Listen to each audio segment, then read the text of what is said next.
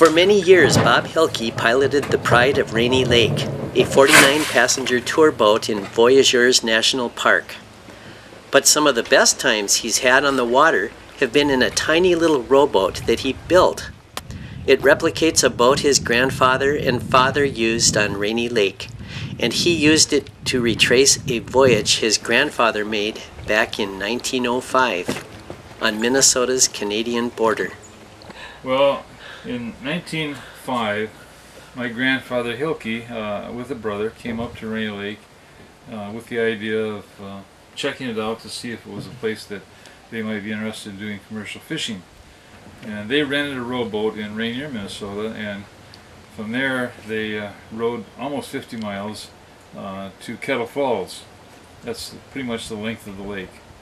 Uh, they decided that the lake was a good place for commercial fishing and as it turns out, my grandfather returned with his family in, in 1908, and they never left.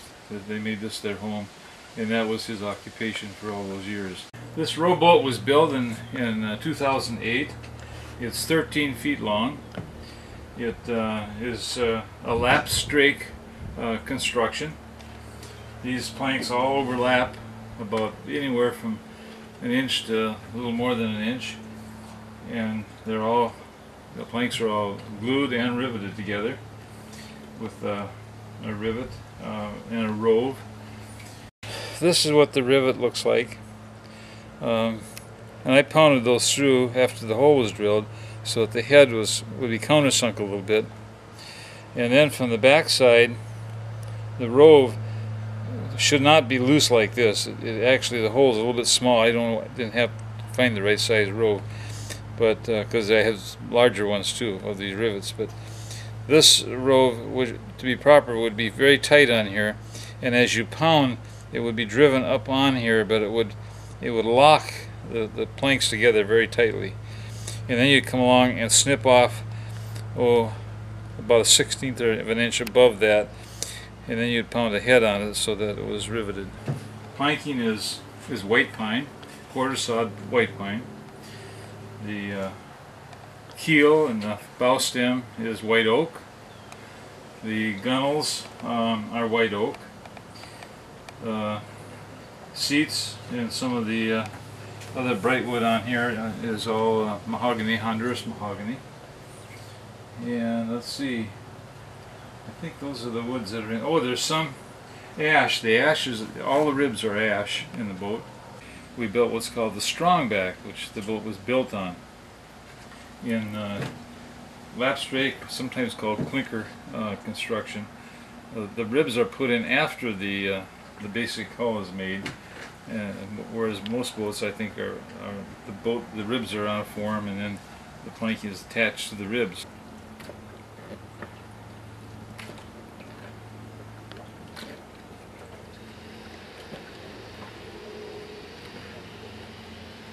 It always intrigued me that when when he first came to this lake, he had, he had rowed uh, all the way to Kettle Falls with his brother. One of the things that I always thought would be pretty fun to do would be to row a boat to Kettle Falls from where I live. And by the end of the summer, after finishing the boat, I I did uh, row to Kettle Falls. It was from our house. It was 39 miles, and it took me 12 hours. So I had to stay overnight along the way and uh, I stayed in a cabin that belonged to a friend of mine about halfway up the lake, uh, which was a wonderful experience. I ran into some some tough winds, um, which made a challenge.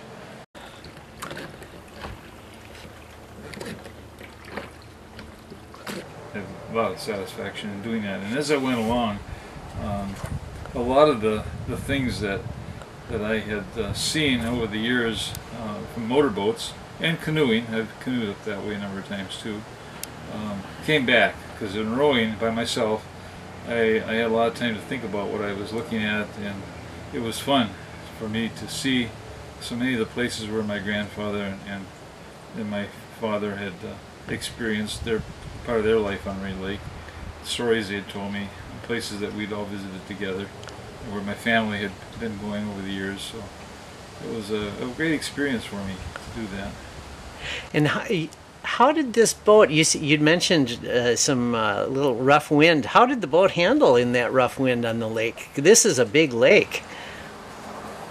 I was wondering, of course, uh, how it would work out. Uh, when we had our original boat, one of my father's favorite things to do after a busy day at work was to come home on a windy day and uh, go out in the big waves. Uh, and he always enjoyed it, never ever tipped over. Always said that that original rowboat acted like a duck on the water. It just rode up and down on the waves. It, it uh, and we used to see him out there doing that. I never was out in big waves as I grew up, but I found that after I built this boat, I went out trying it in the roughest days that we had that summer, and I found that what he had said was true. It, it really rode the big waves very nicely. Uh, however, on my trip to Kettle Falls, I, I had more stuff in the boat with me. Um, I'm a heavier guy than my father was. The boat itself is heavier. I didn't really know just how it would take the really roughest water that I could run into on that trip. But I did run into some very, very bad weather, and and uh, I didn't ship any water at all. Um, I just had to be careful that I played it very, very carefully as I rode up and down the waves, but I didn't have any problem. And if I had, it would have been pretty serious.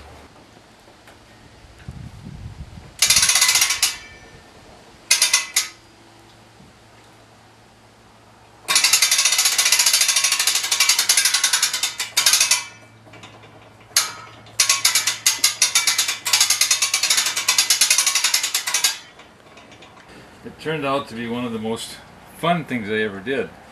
I, I just loved making the boat, and I've had great pleasure using it ever since.